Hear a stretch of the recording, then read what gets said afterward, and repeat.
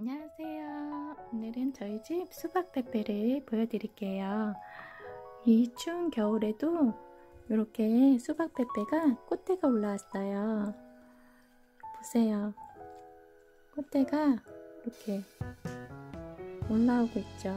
작은 아이도 올라오고 있고 또 꽃대가 이렇게 크게 올라온 아이도 있고 이 뒤에도 꽃대를 이렇게 보여준 아이가 있어요. 아, 수박페페 꽃대도 너무 특이하고 개성이 있는 것 같아요. 음, 그래서 이 추운 겨울에도 잘 성장하고 있는 우리 수박페페 보여드리려고요. 수박페페 키우는 방법을 알려드릴게요. 저는 밝은 거실 창가 쪽에서 키우고 있어요.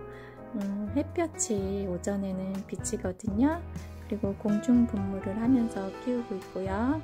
어, 실내 온도는 생육 온도가 수박 페페가 21도에서 25도 그 추운 걸 싫어해요. 그래서 13도 이상에서 관리를 해주면서 키우셔야 해요. 이렇게 애기들도 수박 페페 애기들도 이렇게 건강하게 잘 크고 있습니다.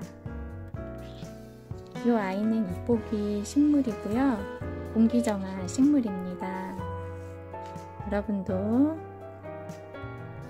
함께 수박페페 키워보면 어떨까요? 자, 수박페페 한번 잎을 보세요. 동글동글 귀엽죠? 음, 동글동글 귀여운 우리 집 수박페페랍니다. 여기 애기 수박페페도 올라오고 있어요. 자, 이렇게 한번 보세요. 동글동글 귀엽죠?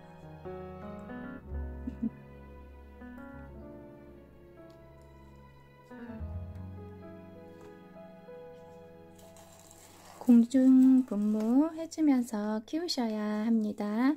그래야 애드립이 건강하게 잘 클 수 있어요.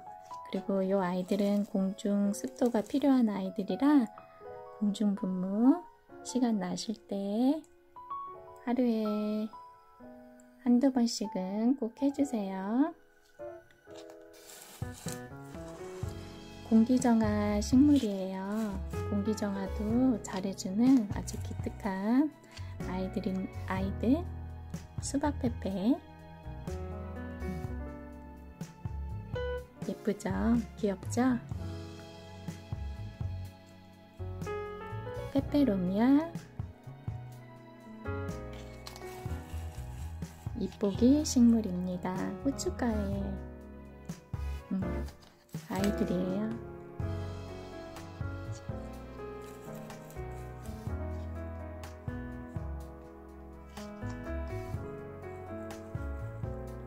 오늘도 영상 봐주셔서 감사합니다.